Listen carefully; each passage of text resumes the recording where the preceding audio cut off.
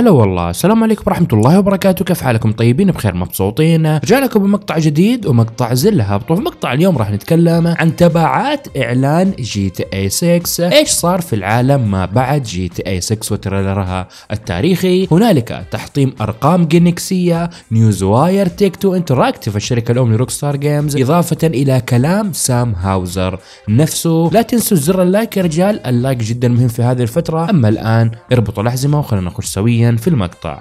طبعا ليلة ال trailer 4 ديسمبر Take-Two Interactive قامت بنشر هذه المقالة أو ال Newswire وبالخط العريض في أول سطر كاتبين Rockstar Games تعلن عن Grand Theft Auto VI وهي قادمة 2025 من العنوان فقط نقدر نتأكد على طول إنه وردا على كل واحد كان يقوله إنه GTA 6 ما راح يكون اسمها جي تي اي 6 أو جي تي اي في اي وإنما يعني مثلا GTA Americas أو Vice City 2 لا لا لا. اسم اللعبة رسميا Grand Theft Auto VI و VI تعني الرقم 6 في الحروف الرومانية اللي تحبها Rockstar Games وبما إنهم اكتفوا فقط بعبارة 2025 وما حشروا نفسهم في مدة معينة مثل ما حدث مع Red Redemption 2 لما قالوا Fall 2017 لما شافوا إنهم ما يقدرون إنهم ينزلوها في الوقت اللي أعلنوا عنه اضطروا إلى التأجيل. هذه هي كانت مشكلة Rockstar Games مع تأجيل مشاريعها. سابقا إنهم يحشرون نفسهم في مدة معينة لكن مع GTA VI فقط قالوا 2025 بدون ما يحددون أي حاجة. يعني ممكن تكون بدايتها منتصفها أو حتى نهايتها. ف Rockstar Games راح تحدد متى بالضبط راح تصدر اللعبة. لما يكونوا جاهزين 100% بدون ما يحشرون نفسهم في وقت معين مما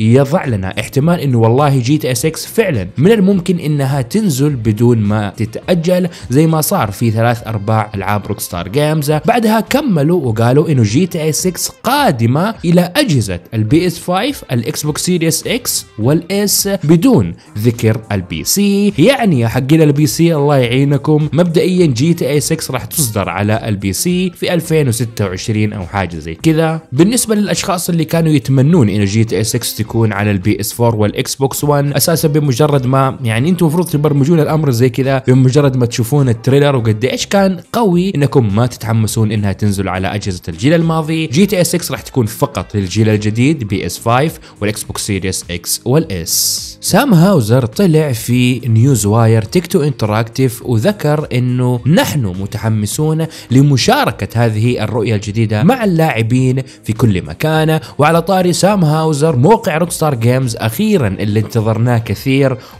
ودائما كنا نخش على domain GTA VI. ظنا مننا إنه والله من الممكن إنه يوجهنا لموقع GTA 6 وما شابه ذلك. الموقع أخيرا يعني أصبح متاح وجاهز. وبكل بساطة ذكروا إنه GTA 6 تم الإعلان عنها رسميا زي ما تشوفون. راح تكون في ولاية ليونايدا والمستوحاة من ميامي أو من فلوريدا تحديدا ولاية فلوريدا وإنه اللعبة قادمة على ال PS 5 وال Xbox Series X وال S وهي قادمة 2025 المعلومات اللي وفرتها Rockstar Games ك Newswire لحد الآن قليلة لكن من المتوقع في الفترة القادمة والشهور القادمة إنه نفس الموقع يضاف له معلومات زيادة زيادة زيادة بمجرد ما تنزل ال trailer ات وال gameplay والتعريف بالشخصيات وإلى آخره.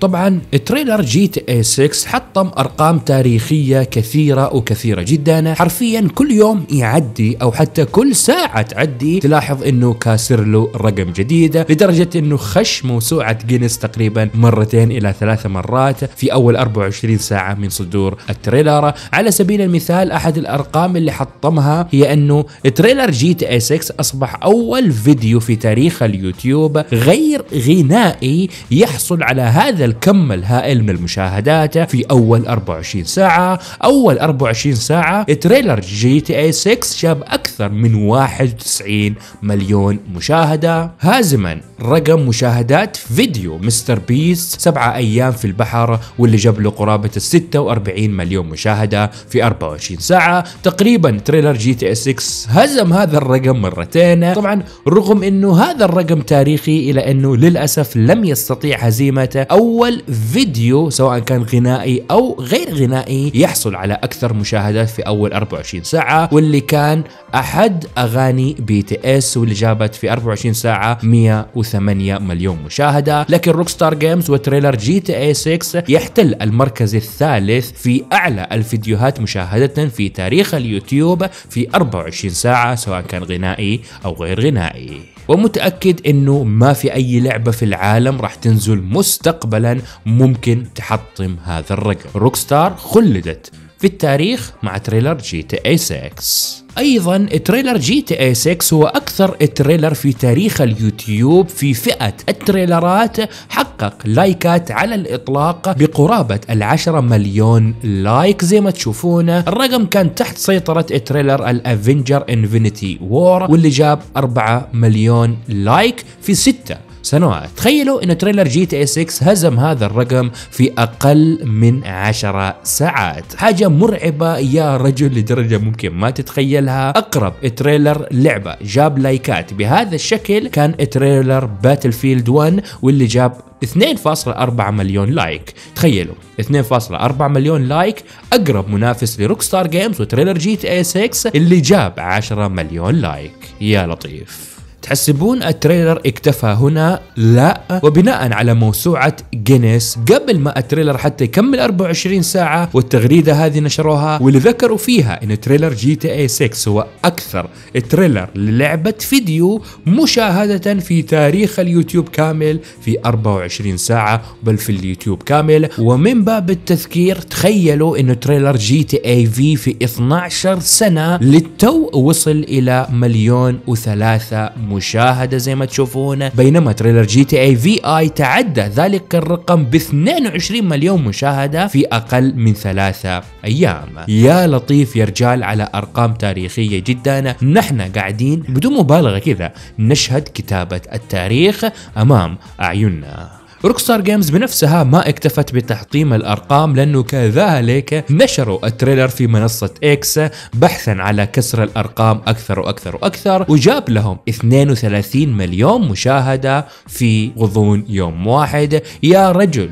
إيش هذه الطقاوة والعنترة اللي وصلت لها Rockstar Games ما تدري هل هي ثقة عمياء في المشروع ولا كذا فقط طناخة؟ والأكيد الأكيد الخيار الأول وهي ثقتهم الكبيرة جدا في هذا المشروع. فنعم يا أخوان trailer GTA 6 مو فقط كان أسطوري كمشاهد بل إنه حقق أرقام تاريخية جدا وسعيد صراحة إني حضرته من البداية إلى النهاية رغم إنه تسرب وصارت له بعض المشاكل لكنه حقق أرباح كبيرة جدا جدا. أرباح تبغاها مشاهدات حرفيا حقق أشياء جدا جدا كبيرة. متأكد لو إنه ما تسرب كان حقق مشاهدات أكثر من كذا بكثير. لكن صار اللي صار و Rockstar Games تصرفت بناء على ذلك ونجحت فيها بشكل ممتاز.